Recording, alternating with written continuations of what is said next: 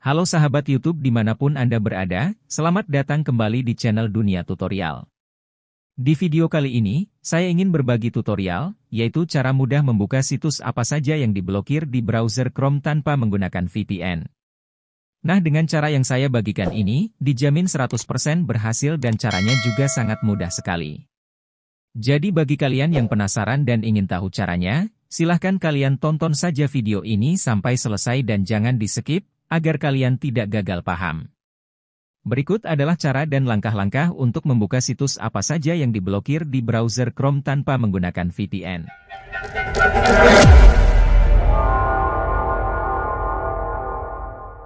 Jadi untuk langkah yang pertama, yaitu kita buka saja browser Chrome yang ada di HP kita. Nah setelah terbuka seperti ini, kemudian di sini kita jangan langsung membuka situs atau websitenya di kolom pencarian browser Chrome ini. Karena jika kita langsung membuka situs atau websitenya di pencarian browser Chrome ini, maka situs atau websitenya biasanya langsung diblokir. Nah contohnya seperti situs Vimeo ini. Nah situs Vimeo ini langsung diblokir seperti ini, jika kita secara langsung membukanya melalui pencarian browser Chrome. Lalu bagaimana sih caranya, agar kita bisa membuka situs yang diblokir seperti situs Vimeo ini tanpa menggunakan VPN? Jadi caranya sangat mudah sekali, yaitu kita kembali dulu ke tampilan awal browser Chrome kita. Nah setelah kita sudah kembali ke tampilan awal browser Chrome kita, kemudian sebelum kita membuka situsnya melalui pencarian browser Chrome ini, kita ketikkan dulu kata kunci ini.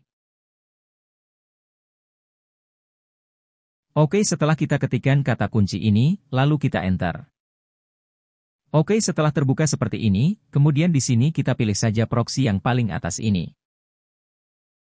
Nah setelah proksinya sudah terbuka seperti ini, kemudian kita gulir dulu ke atas.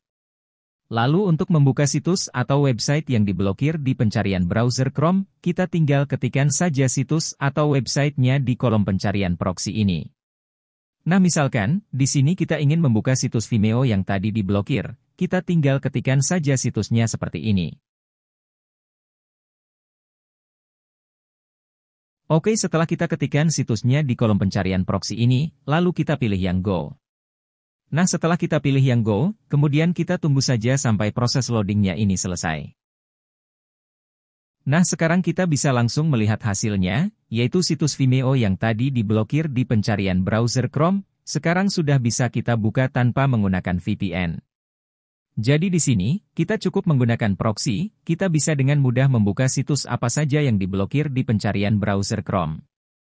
Oke kiranya cukup sampai di sini video dari saya semoga bermanfaat, terima kasih sudah menonton video ini selamat mencoba dan semoga kalian berhasil.